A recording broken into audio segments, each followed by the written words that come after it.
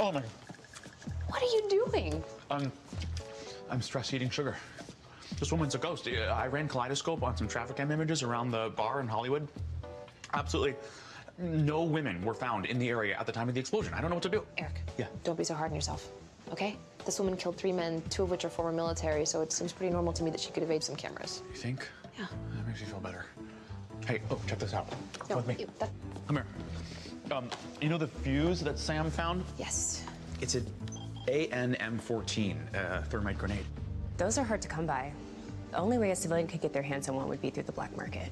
Okay, so our suspect has ties to the military or black market contact. And interestingly enough, a case of these went missing along with a slew of other weapons about a year ago at the Marine base at 29 Palms. Okay, a job like that's almost impossible to pull off.